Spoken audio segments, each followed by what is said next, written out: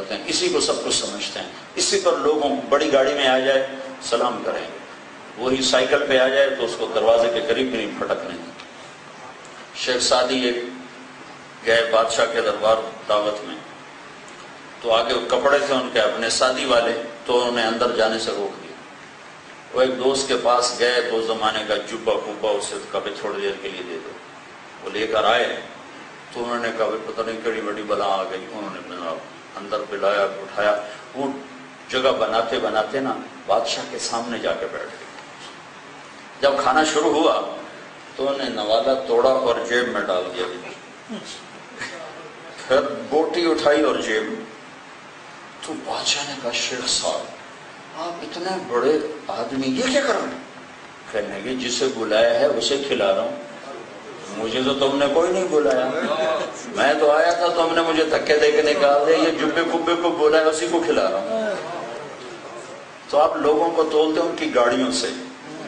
और ये भी ऐसे बेवकूफ़ हैं, अपनी कीमत लगाते अपनी गाड़ी से। एक लोहे के डब्बे पर तुम अपना मैार कायम कर रहे हो तो तुम क्या हो? तुम अपनी जात में तो कुछ भी ना रहे तुम। तुम अपनी हैसियत कायम करने के लिए मर्सडीज के मोहताज हो लैंड क्रूजर के मोहताज हो तो लानत है इस इज़्ज़त पर। ये इज़्ज़त है ही नहीं। ये तो धोखा है, फ्रेब है। अपने मन में डूब कर पा जा सुराग ज़िंदगी। अंदर है सब कुछ दिल, दरिया, समुद्रों डूबे। कौन दिला दिए जाने हो? विच्चे बेड़े विच्चे छेड़े विच्चे वंज मुहाने हो? तो सारा जहान अंदर आबाद है, बाहर क्या है? हाँ, हाँ, हाँ, गधे को थ्री पीस सूट बैठा के उसे बीएमडब्ल्यू में बैठा दो तो उसको भी सलाम करो। ज़मीन आसमान से कीमती इंसान आ जाए साइकिल पर कहोगे बरगुडन बरगुड कितो आ गए कितो आ गए बरगुड तो ये वो तासर है जो हमने गैर मुस्लिम से दिया है कि वो चीज़ों को तोलते हैं चीज़ों को परखते हैं। एक ज़िंदगी ईमान वाले की है, उसका मैार और है। वो इसे गुजरगा समझता है। गतबमल हयात दुनिया वो ये धोखा है। जो वो नज़र आ रहा है वो है नहीं। मतान कलील, ये थोड़े दिन का साधु सम्मान है। असल मंजिल मेरी आखिरत है। उनका तर्ज ज़िंदगी और हो जाता है। मैं यूत रसूल फ़कत फाज फौजन अजीमा। वो कामयाबी समझते हैं, अल्लाह उसके रसूल को राज़ी करना। वो कामयाबी ये नहीं समझते कि कारोबार बढ़ा लें, चाहे बैंकों से करोड़ों रुपए लेना पड़े। जी, फिर कारोबार तो हो नहीं सकता, बैंकों से ना ले तो कारोबार नहीं कितने आराम से कह देते कितने आराम से। वो कहने वाला कौन है, तैयार हो जाओ, मेरा तुम्हारे खिलाफ ऐलान जंग है। मैं और मेरा रसूल दोनों तुमसे लड़ेंगे जो ऐसा करीम हो, ऐसा करीम हो। कारून दुनिया में एक मुजरिम ऐसा आया है, जिसकी मिसाल और कोई नहीं है। और उस नाम के बाद आज तक किसी ने वो नाम अपना रखा है फिर तो एक टाइटल है फिर नाम नहीं है फिर टाइटल है।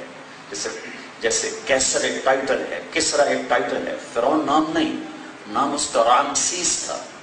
दुनिया में ये वाहिद नाम है जो फिर दोबारा नहीं रखा गया नफरत की वजह से कारून उसने मूसम ने जब उससे जक़ात का मुतालबा किया, जक़ात बनी बहुत ज़्यादा तो उसने एक औरत को तैयार किया, तुम जिना की तोहमत लगा, तेरा घर भर दूँ मूसम बात कर रहे थे, वो खड़ा होगा का जो आदमी जिना कर, उसकी क्या सजा है? या शादीशुदा हो तो उसको पत्थर मार मार के हलाक कर दिए गैर शादीशुदा हो तो कोड़े लगाए तो वो कहने लगा, ये औरत क्या कहती?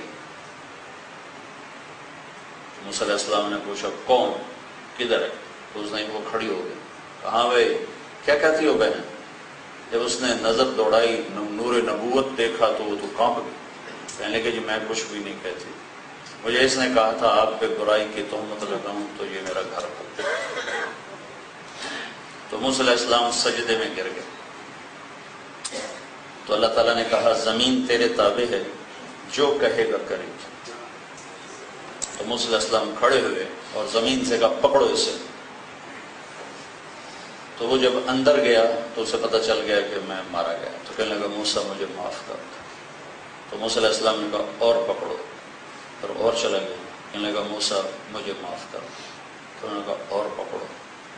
वो माफ़ी माँगता रहा और मूसम कहते रहे, और पकड़ो। वो सारा ज़मीन में धंस जब वो ज़मीन में धंस गया तो अल्लाह ताला ने फरमाया, मूसा, बड़ा मज़बूत है तेरा दिल। इतनी माफ़ी पर भी तू नरम ना हुआ। मेरी इज़्ज़त की कसम एक दफ़ा मुझे बुलाता, मैं माफ़ कर देता। तुझे मैं आप ही राज़ी कर वह इज्जती व जलाली। मुझे मेरी इज़्ज़त की कसम एक दफ़ा मुझसे माफ़ी माँगता मैं माफ़ कर देती जो इतना करीम रब हो, वो कहता है, या सूद छोड़ दो या मेरा तुम्हारे खिलाफ ऐलान जंग और इस्लामाबाद का ताजर कहता है जी काम नहीं चलता, काम नहीं चलता। क्या ज़रूरत है भाई? क्या क्या कलेजा है? क्या कलेजा है? इतने बड़े शहनशाह से टक्कर ले ली। और आगे अल्लाह का रसूल रहमतुल्लिल आलमीन जो चचा का कातिल है, वैशी रज़ी अल्लाह को जब वो पेश हुआ है तो सहाबा आगे बढ़े उनको कत्ल करने के लिए। जितना आप हज़रत हमजा की मैयत पर रोए हैं, इतना किसी पर नहीं रोए इतना रोए कि आपके रोने की आवाज़ दूर तक जा रही थी तो इतना रोए कि अल्लाह को गम की तसल्ली के लिए जबरील भेजना पड़ा। तो मेरे महबूब, ना रो। मैंने अर्श के ऊपर लिखा है, हमजा तो असदुल्लाह व असद रसूल। हमजा अल्लाह और उसके रसूल का शेर है।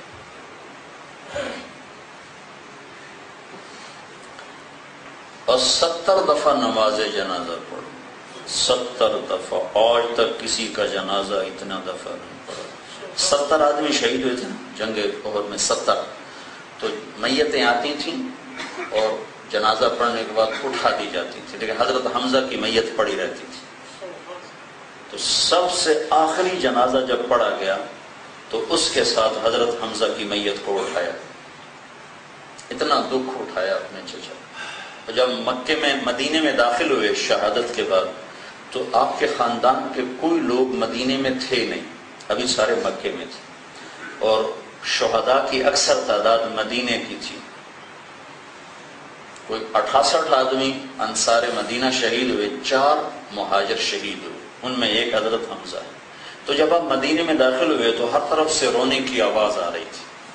तो हमारे नबी फिर रोने लगे और फरमाया, सब के रोने वाले हैं और हमजा पे रोने वाला कोई अम्मा हमजा तो फला बगा किया आज हमजा पे रोने वाला ही कोई नहीं।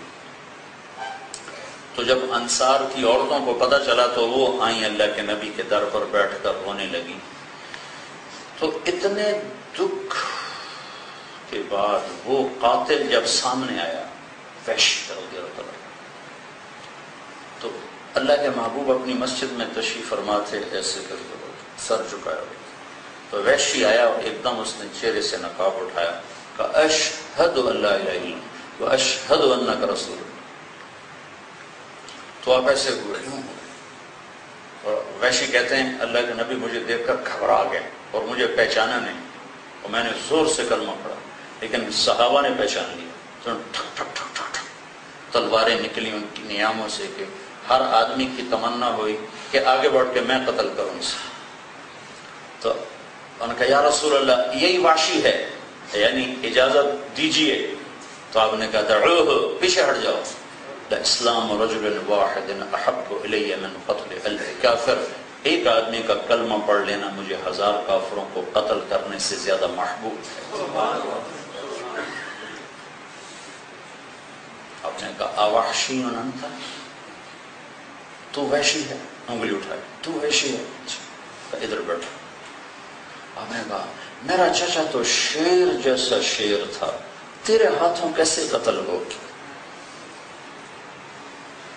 जब उन्हें सारी कहानी सुनाई तो फिर अल्लाह के नबी रोने लगे। अल्लाह तेरा भला करे, तेरी जन्नत का सामान मैंने कर दिया। अब मेरे सामने ना बैठा कर, मेरा चचा मुझे याद आता है, मुझे दुख होता ये रहमतुल्लिल वो भी रहीम रहमान और ये भी रहीम और रहमतुल